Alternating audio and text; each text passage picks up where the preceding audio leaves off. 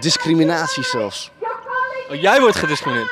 Ik word gediscrimineerd dat mensen niet met mij in gesprek willen vanwege het. Left.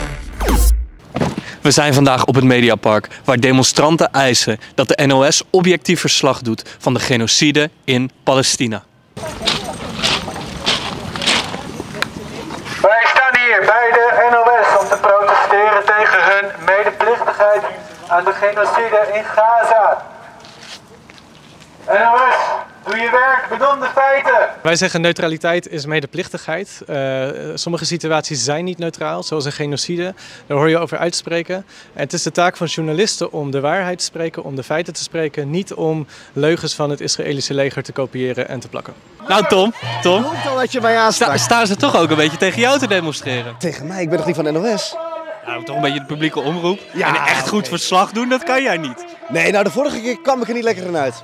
Ga je dat nu anders doen? Nou, ligt eraan wat jij ervan maakt natuurlijk. Nou, heb jij je goed ingelezen? Nee, nog niet bijna. Nog niet bijna. Maar dat deed ik de vorige keer ook niet. Nee, dat ging ook niet. Ja. Nee, dat was natuurlijk eh, drama. Waarom zijn jullie vandaag bij de NOS?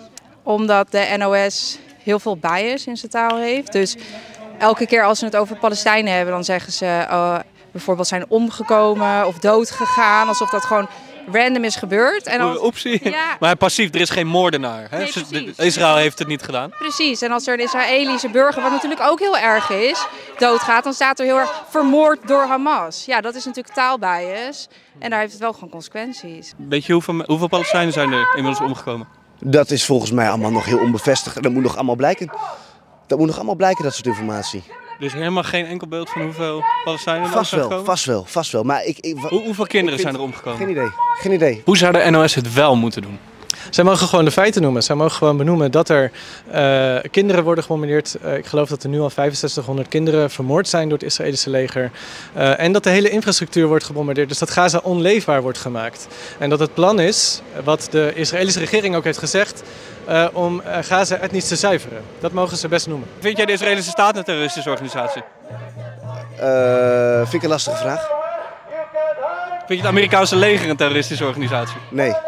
Nee? Nee, nee, nee. nee ongeacht dat, dat, dat er een miljoen, een miljoen dode Irakezen. Wat? Een miljoen dode Irakezen. Ja, maar dan ga je het over dat soort conflicten hebben. Dat heeft hier niks Maar is, mee is te dat geen terreur? Is het, is het Oh, alleen terreur als een, als een arm iemand met een AK doet? Maar als iemand vanuit een vliegtuig eh, mensen kapot schiet, dan eh, is, het, is het niet erg? Nee, maar als iemand vanuit een vliegtuig terroristen met een AK bombardeert, vind ik het niet slecht, nee. Dus al, al, die, al die dode kinderen, dat waren allemaal terroristen?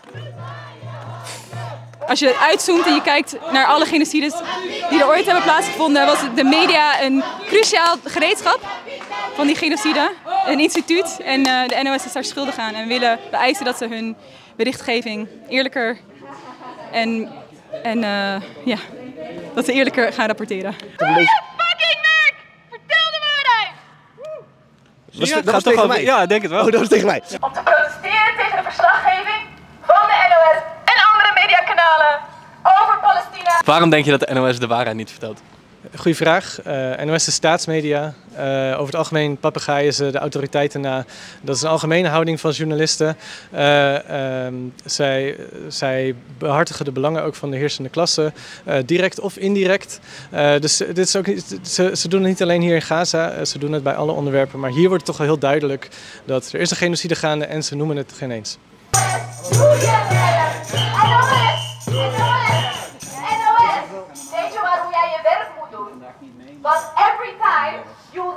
Snap toch ook wel dat Po-nieuws al jarenlang ontzettend slecht verslag doet? Nee, ben ik het echt niet mee eens. Ben ik het echt niet mee eens.